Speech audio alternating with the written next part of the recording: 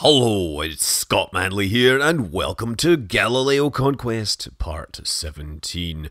So, yeah, we have some sights to spend after that glorious, triumphant trip to that uh, city in space, uh, that moon called Ceti. So, we need to uh, spend it all on something.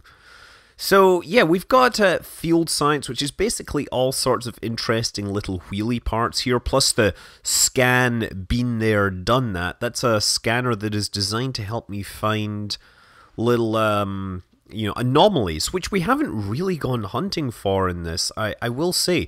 I think we've seen some clues using the orbital scanners, but we haven't found it. I'm not sure I need that just yet. We have well, logistics, which is storage bays and stuff, which I should probably really find a use for at some point. Um, high power electrics. Well, oh, nice batteries. Lots of batteries, batteries, batteries. That that is probably likely to be actually useful to me in the short term because I do need more batteries. I think I'm taking that. Okay, 395 left. Atmospheric fluid scanner type thing, unmanned tech. No, you know what? I'm going to take those electronics because it's always good to unlock new sciencing technologies. Meanwhile, back in space, it's time to check in with our long endurance astronauts, Natari and Valentina. Well, their habitation module tells us that we have one more day of them feeling happy. But, um, well, uh, some examination of the control panel discovered that I had made some errors. I thought I was wondering why things weren't working quite as well as you expect, and it turns out that if you right click on some of these modules, you can start the life support and you can start the habitat. Now, I'm not sure why a habitat would need to be started, but after starting it, I got 17 days worth of habitation out of it. Starting the other one gets me up to 33. These seem to be doing a pretty good job here.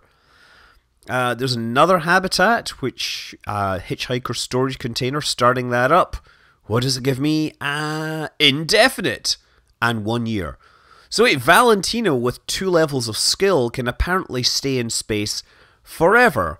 The only problem here is that if you look, we are actually draining electric charge. So this spacecraft, as it's built right now, simply doesn't have the electrical power to sustain the level of life support that these uh, crew members are demanding. They need more power, presumably to run their PlayStation 4s and back massagers? I don't know.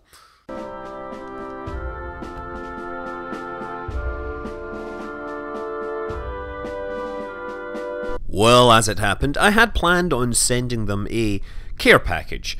Uh, I thought originally I would send them some nice chocolates, food, that kind of thing, and of course a spacecraft to allow them to return home.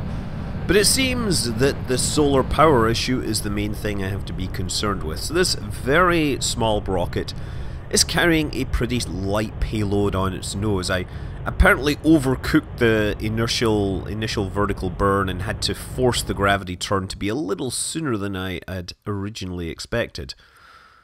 And to be quite honest, I am pretty proud of how I managed to fit this into that tiny little fairing. Yes. Yes, this made efficient use of the fairing space, unlike DSCOVR, for those of you that don't remember, DSCOVR was of course launched to the Lagrange point between the Earth and the Sun. In fact, the upper stage of that Falcon 9 is further away from the Earth than any others. And it was able to do it because DSCOVR was a very small, very lightweight, very cheap spacecraft. And of course, the SpaceX Falcon 9 fairings are a one size fits all deal. So Giant spacecraft the size of a school bus fit in there, as do spacecraft the size of a dishwasher. Anyway, this, on the other hand, is Benny Cake, and what I've managed to do is fit three different spacecraft into this single fairing. And importantly, it also has a probe core attached, so it can fly automated style and begin its rendezvous with the, the Clonrichert station in orbit. Because I hear that Clonrichert is deserving of an upgrade.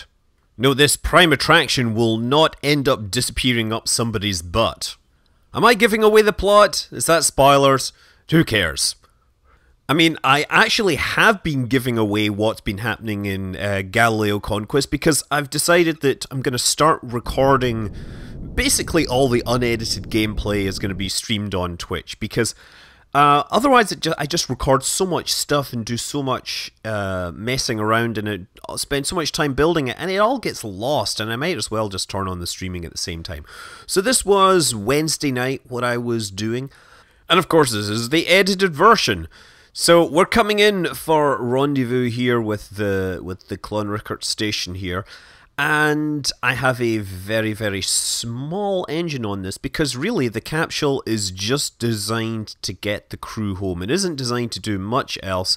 Just provides a bit of space that is proof against, or is it is uh, toughened again it is armored against the uh, the the re-entry heat that they will experience something that can return the crew back to the surface and uh, yeah, because it has such a small engine, I completely messed things up. It, it tells me now it's going to take 33 seconds to stop, so I fly right past the station at over 100 kilometers per hour. That's not good. Uh, in fact, if I had hit the station, that would have been really bad, which is the opposite of good.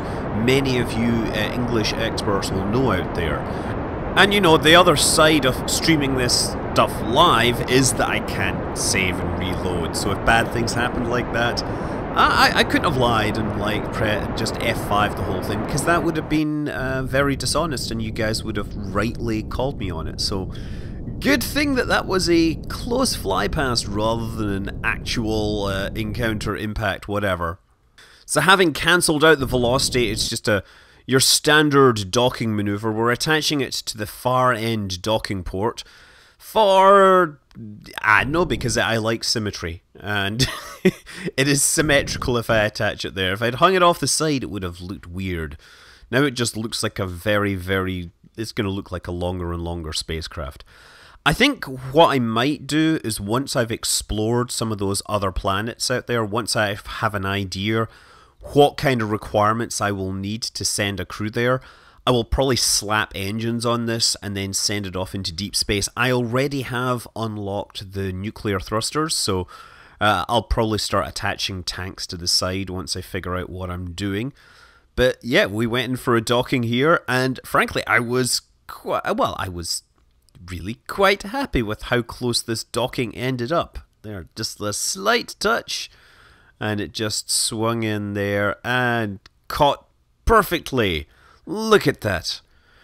Now, the next step in this mission, the two payloads I'm carrying are basically power units. They're giant solar panels, so they have a little probe body, little reaction control thrusters, little antenna. They use the tape antenna, which, if you don't know, tape antenna are actually pretty common in CubeSat designs. You basically take metal measuring tapes and you can turn them into antenna. And the nice thing is that they're designed to roll up into very compact uh, spaces. So, uh, you know, it's a very cheap piece of commodity hardware you can buy, and you can turn them into antenna that roll up very neatly and nicely. And that roll up uh, technique was also demonstrated for solar arrays recently using something called ROSA, the roll out solar array. I keep wanting to say roll up solar array, but they actually roll out. It's just a new way of packaging the solar arrays to make them rigid and light.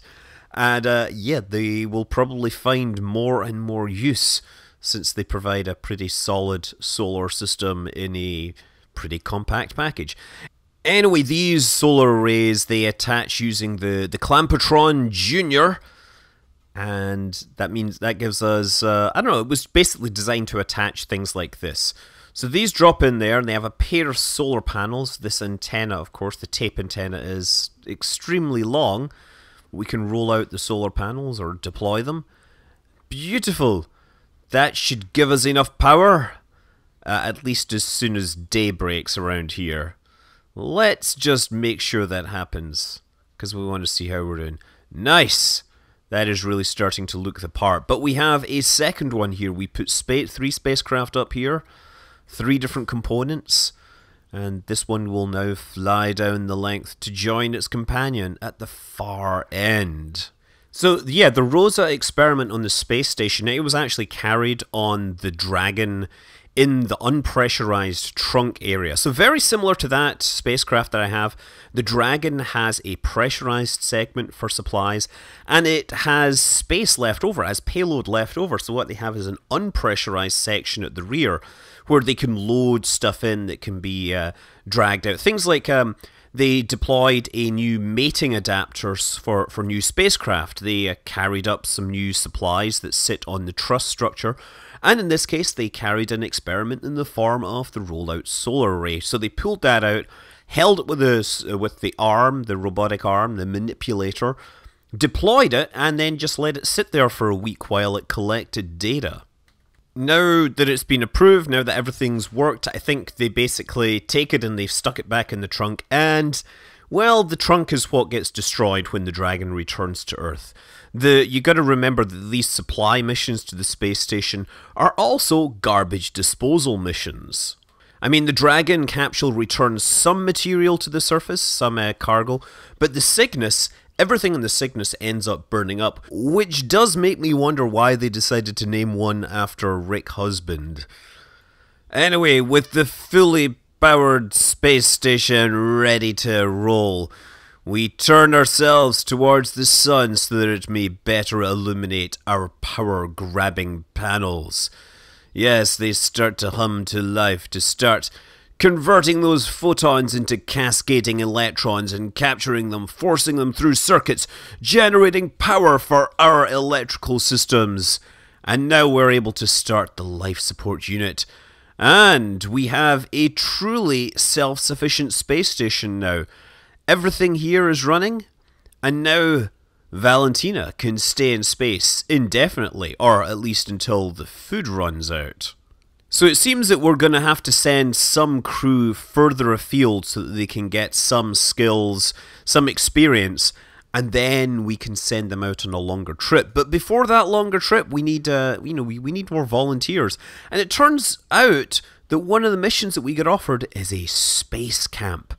Mortimer is constantly complaining about the cost of hiring new astronauts. Rather than wasting our funds on training recruits or picking whichever Kerbals happen to be in need of rescue from Kerbin orbit, we should send up a space camp and train paid tourists to join the space program. Bring the tourists and some instructors to on a long term training facility in orbit, and when they come home, we'll see which ones are good candidates for joining the space program.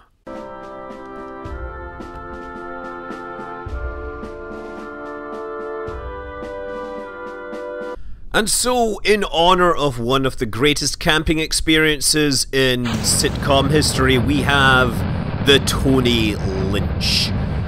The design for this came, well, was established during the, the live stream, and, well, the plan is instead of sending all this crew up to a space station, they are going to be the space station. You see, I'm going to have to put them in spacecraft to send them up there. I'm going to need roughly the same amount of spacecraft space to bring them home. So, you know, as long as I can keep them alive, they're not going to mind that they get homesick after like a few hours and won't do anything. Yeah, this is going to be very bare bones accommodation, but you know, they are paying for it and space travel is expensive. I mean, really, how can we truly understand or how can we truly assess the capabilities of these potential recruits unless we put them in the situation, the kind of situations they may have to experience. Look at them down there in the bottom right. So many of them, so many fun names. Want some of these? Some of these may be going to space as professional astronauts at some point in the future. But right now, we have 14 paying customers. They're going to stay in space for 40 days. And they have three instructors a scientist, an engineer, and of course a pilot. A pilot who has gone as far as Ceti. They also paid for this uh, magnificent firework display which we are about to witness. The boosters, of course, come off Korolev cross style, spreading their wings across the atmosphere, looking, looking like a four-pointed star, or a cross, or Ooh, look, they're like braiding it. There we go. Look, falling down through the clouds, and they're not slowing down, are they? They are going to hit the surface at almost Mach 1. All four of them. I Don't think many are to be left after this. Still, perhaps some billionaire will find their remains in the future. So, 40 days means that I have to take care of a particular maneuver for the Assumpta spacecraft. The Assumpta is headed towards Icarus and needs to perform a plane change maneuver to make sure that Assumpta is in the correct plane. Now, if you remember, this one had a very bare bones satellite and as much engine and fuel as we could reasonably fit into each stage. So it has this is one of the upper stages that we kept attached because we wanted the extra fuel that it was going to supply. But now that's gone, we're down to the Beagle and the, well, the final stage, whatever that is. You'll notice that we also got science info. You can point the camera at the sun for some reason. I'm surprised the science message doesn't say, why the hell are you pointing your fancy camera at the sun? That doesn't tend to be very good for it. That is, of course, what Alan Bean discovered on Apollo 12. He accidentally pointed the camera into the sun while he was repositioning it and managed to burn out the imaging system, which was, well, unfortunate. That might explain his post space art career, where he's trying to do the equivalent of a courtroom sketcher, trying to render all the things that he saw on the moon that couldn't be rendered by uh, that camera. Or more likely, he just likes painting things. Anyway, after that maneuver, it doesn't put us exactly on target because of phasing issues, but uh, I do have, I did have it set up that I would create that second maneuver. 4,923 meters per second will put me on an encounter with Icarus. That'll be another like 30 days away. And now, of course, we return to our space camp. Tony Lynch the Tony Lynch Memorial Station orbiting in space. And I'm sure they've been having an amazing time there, uh, singing songs and playing hide and seek. Unfortunately, they managed to leave the Scrabble and the Travel Scrabble behind. I mean, yes, it may be 40 very crushed, very uh, repetitive days flying around uh, Gael, but they are in for the ride of their lives during descent because uh, well, I, I actually thought very hard about how to safely bring back a spacecraft of this size. When I was designing this, I was extremely concerned that having a large, long spacecraft might mean that when it landed, it fell over and exploded. So, this spacecraft is going to be designed to split into parts and have all five crew areas land individually. But furthermore, these crew cabins are chosen for their cheapness, for their low mass. Uh, this mission was actually over budget compared to the rewards offered. But we did get some free astronauts, or we will get some free astronauts, assuming I don't kill them all. Anyway, the idea is that we have these rocket engines on here, and most of the speed will be removed by the rocket engines rather than relying on heat shields. Because if, if I split it up in the upper atmosphere, yes, each part might individually land, but they would all probably go beyond the two and a half kilometer limit and get unloaded, and they would be called dead. So I have to keep them all together during descent in a single spacecraft. And that meant, if you stack them, that it's not going to slow down enough. In fact, it will probably burn up, which is why we have about 2 kilometers per second of delta V left in this thing to essentially stop it in orbit and bring it down safely. But that whole descent process takes a really long time. I had to baby this thing through the atmosphere very carefully, and it turned out I made some mistakes. But we're going to cover that in the next episode. Will they get down safely? You're going to find out. Until then, I'm Scott Manley. Fly safe.